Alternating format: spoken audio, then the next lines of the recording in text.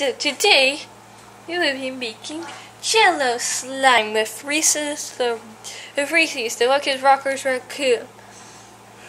Um, yes. So you need cornstarch, Jello, and warm water. So um, wait, let me put Reese's away. We're using green Jello. So yeah. Um. So this is the green jello. Uh, me scissors. Let me get some scissors first. And there's only 10 more school days until summer. Okay,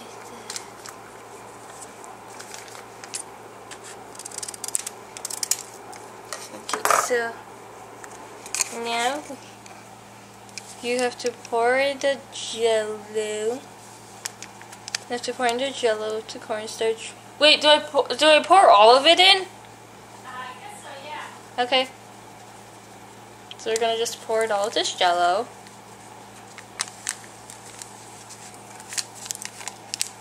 Green jello, by the way. It's a jello slime, by the way. Yeah, the video said that it was edible, but I wouldn't eat it. Nah, I wouldn't. Yeah. But a bright say that's good to know in case somebody actually tries to eat it. Yeah, and also just makes it safer in case somebody tries to eat it. Yeah. Like, just don't try eating it, but I don't know why we did. Yes, and I have stirring thing. Now we need warm water.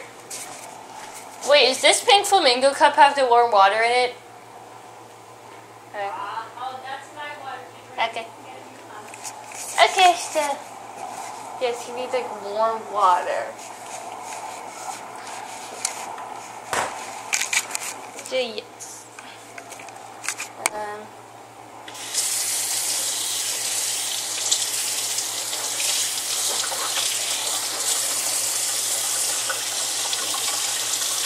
Maybe because this is warm enough.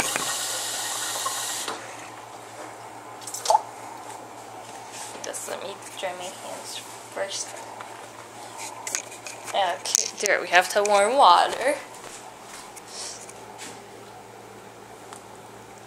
It's a little slimish. Hmm. Yeah. Okay, so you have to like mix it together now.